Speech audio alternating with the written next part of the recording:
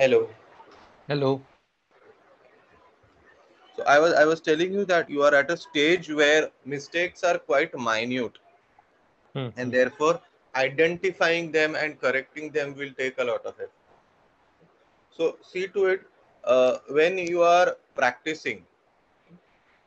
Try to have a, a comparison uh, uh, video or a comparison audio, and with that reference, try to speak. Listen to Hmm. something else and try to speak that same thing. It will help you to identify the mistake, something to compare. Hmm, hmm, hmm, hmm. Have something Like, to yeah. compare, exactly same thing to compare. And when there is a variation, you'll you'll be able to spot it. Because mistakes are very less at the moment. The major mistake that comes out is pronunciation, like booked, you said. So booked but then again i won't consider that as a, a very big mistake. It is just it will go along with the it is easier to identify. For you the mistakes that are difficult to identify the various uh, variations that you are doing in the sentence. Maybe a preposition is mistaken or the verb is changing its position. Instead of the using the verb you use it as a noun. So these are mistakes that are hard to identify. But when you are listening to it english is a language which, you have to listen to get the correct form. So when you listen to it it will become more evident to you. It it, it sounds like when we say okay this, this doesn't sound correct that is where you have to point out your mistake so listen to it. And again while you are doing it i'm specifically saying listen. Why? Because you need to only listen and not see Okay. Hmm. because uh, in this case seeing that person or watching a video would distract you Yeah. you are you are not at, at this stage you don't need to see the face of the person you just need to listen to those two sentences your own sentence you speaking and the other person speaking here the movement on screen would tend to distract distract you so try doing that at least once a day listening to yourself and listening to the other person speaking you will be able to get the difference Yeah, I will definitely do that. I will like Try turn doing off the video and uh, yes turn off the video and just listen to the audio hmm. Okay, so we are moving to the next topic. Topic is the generation gap, which we see almost every every time. There is there are new generations, there is generation gap also. Okay, so uh, two new idioms. Try if you don't if you are not able to use the idiom during the session, try to keep it in mind or try to write it down and use it during that day at least once during that Mhm. day. That will give you that habit, that practice to use it. So in this day and age is one in this idiom. day and age. Wow. Yes, in Hmm. this day and age. I heard it a lot. Hmm. In this day and age means presently. Presently with taking everything in consideration that is happening today. For for example, today the COVID, the COVID-induced lockdown, uh, with that taking that in uh, consideration, we can say in this day and age means along with all that situation. The second one is to be wise beyond one's years. We don't say once while speaking. While speaking, it is just to be wise beyond years. Means you are smarter than your age or you are more mature than your age. Happens for quite many people, it happens that they are more mature than your age. It also happens the other way around. People say you are more childish. So it happens both ways. Either you tend to be more mature. What is that word tend exactly? What is wiser For- than your age? Wi- to be wise beyond your age, Okay. be beyond beyond- years, beyond years. Mhm. Years is the age complement in it. To be wise beyond your, you can say you are wise beyond years means wise beyond your own age. Generally, that happens when a person has a lot of experience about different things. So that is learning from life. Hmm. Or experiences or yeah. Yes, learning from experience, personal experiences that happen with you. That is what makes you wiser more than your age because other people at your age may not have that experience. which you have had. Okay, so what according to you is the generation gap? Oh, generation gap. Uh, the first first sentence that comes to my mind is uh, uh, people are not able to connect and understand uh, understand us who, who are uh, let's say uh, a easiest example uh, will be um, most people most indian parents still believe getting a job is the uh, is the best thing one can do. But today it's completely wrong especially uh, during this covid situation. Hmm.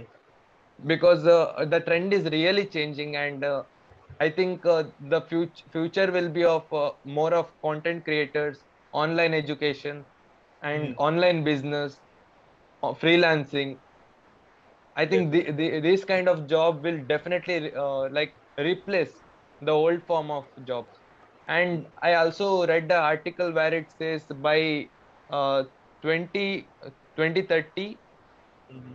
um, uh, I think billions of new freelancers will be born, and uh, majority of the company will prefer freelancing over jobs because in job we have to provide them uh, uh, life insurance, uh, uh, we have to provide them some tools, batches, and uh, regular income. But when it comes to freelancing, we need not have to do anything. We just have to hire them, and the uh, freelancers can use their tools, their uh, their home Hmm. so I think uh, there is a lot of generation gap for Indian parents to understand, and Understand this is not the same in case of uh, foreigners.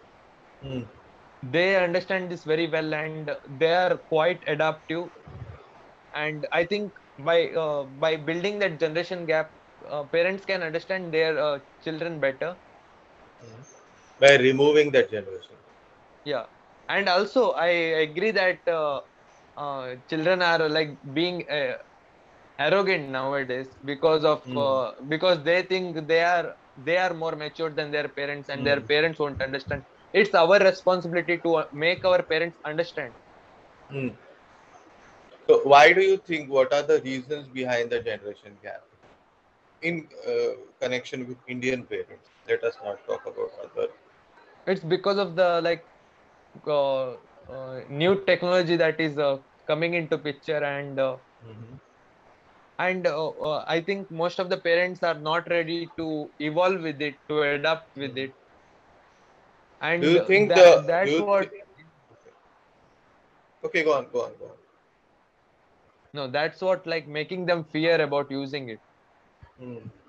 Do you think the environment that uh, your parents are, rather to, to be able to say better, uh, your parents have grown up, the environment in which your parents have grown up, and the environment in which you are growing up, there is a marked difference between these two. yeah there is a huge difference in these two because uh, my parents uh, my parents st- still tell me my mom especially sh- uh, she's very good at math. and uh, she told me that uh, she was topper in math and she used to write in that bd uh, i think that B- bd paper something is there Okay. in that she had to adjust and write to learn maths to practice maths and today we are wasting uh, dozens of uh, sheets Hmm.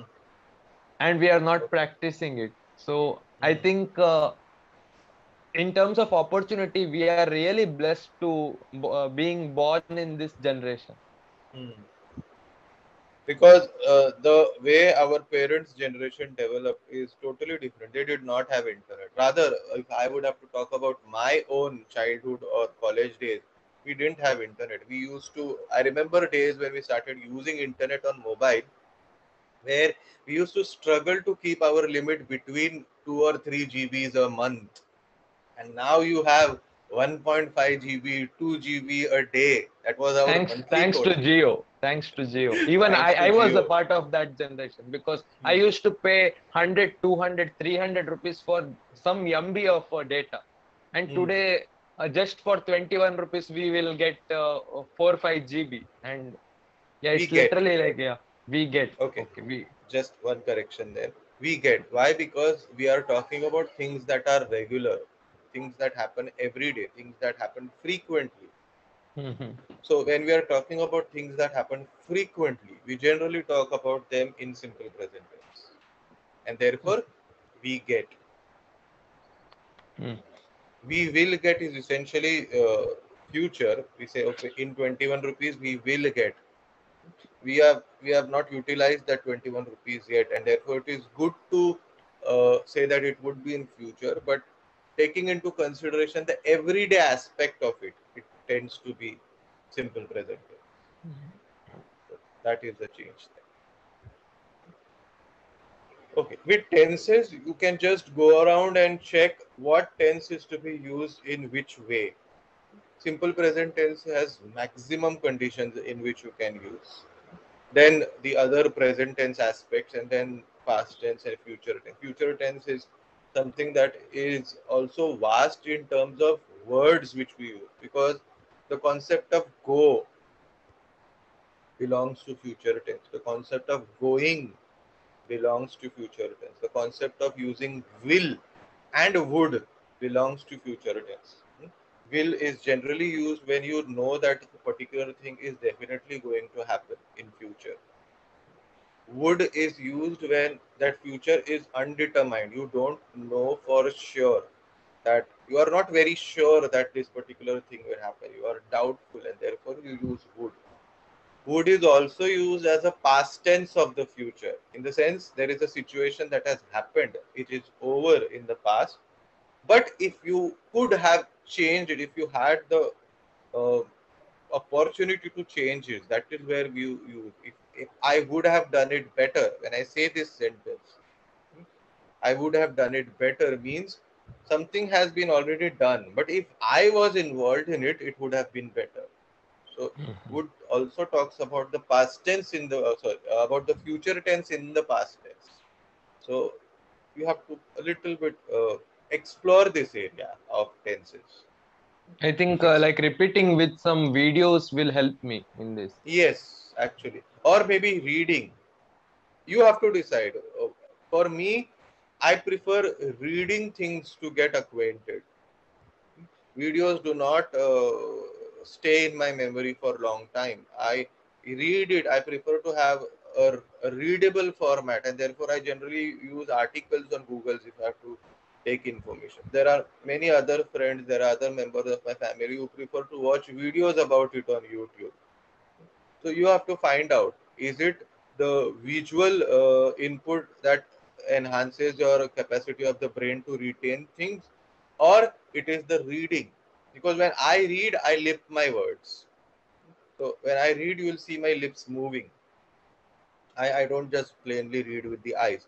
So that helps me to retain it for a longer time in your in my memory. So you have to find out your way of doing it. Whether written information works for you or whether that visual aspect works for you. Find out and then do it accordingly Yeah, sure, I will do that. okay so when do you feel the generation gap the most When I have to explain them about uh, online business that I'm doing right now, that's the hardest part because uh, they are thinking that uh, I'm by not accepting the placement, I am doing a big mistake. And only my generation people are able to understand that. Even they are not uh, completely accepting that fact because they are not into this. they have also been conditioned that way that you have to get Exactly. Even I was conditioned that way, and I uh, I have come uh, come beyond that. you, i have overcome that I have overcome that. Yeah. Okay we have it in the next is it possible to overcome a generation gap It completely d- depends on uh, our mentality. We should be ready to learn. We should be ready to adapt. Uh, we we should be upskilling ourselves daily. Okay. So how would Because- that help you to overcome the generation gap? Because you are, when it comes to generation gap, you are referring to a generation that is before you. Preceding. So I, I think future is very uncertain for only those who are not ready to learn daily. Mhm. So if you are able I- to, yeah, like of past generation, Hmm. the only problem with them is they are not ready to adapt that's all i think Okay, just And one they- statement yeah. from my. See, uh, your parents' age would be somewhere around 40, 45 at the moment. yeah Your age would be around 20, 25 at the moment, right? Yeah. Okay. So if they have learned something for 40 years in their life and you have learned something for 20 years in your life, why would they be ready to change something? Their experience is 40 years, your experience is 20 years. i i never I'm referring to that I- part.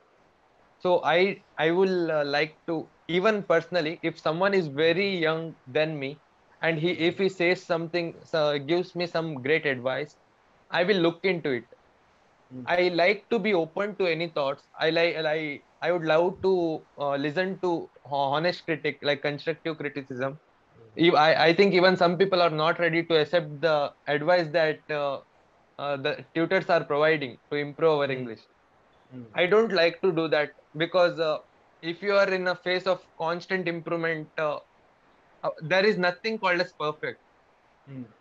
So I think their uh, experience should not be a barrier to be open to advisors. If that information is right, they can take it from anyone. It uh, it do, don't matter uh, they are below their age or above Doesn't their. matter.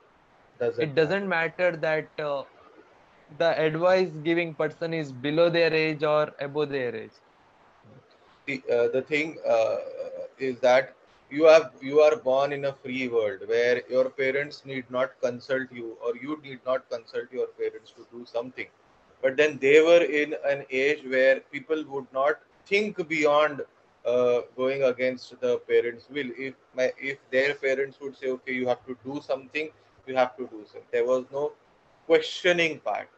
In our gener in your generation even in my generation there is that questioning part. I will do something only if it logically fits my thinking my mentality. But the earlier generation does not come from that past. They for them all the decisions everything even where to sit or not or whom to associate or not used to be taken by their parents their teachers or maybe some elder person so that mentality is still there and they expect you to take decisions on on uh, decisions they were that were dictated by dictated by them, which does not happen, and therefore the gap. So somewhere we have to uh, think about their mentality and try to adjust, try to explain it to them why this free thought is more important. So that has to be done, Yeah. and only then I think we can overcome. and uh, and it's our responsibility to it's our responsibility to teach them because Yes. uh, they ha- they have like raised us till here Hmm. and it is because So we, we want to not, change the uh, situation. And we should not tell that uh, you won't learn uh, you you are Hmm. useless. Because that's the worst thing we can do for our parents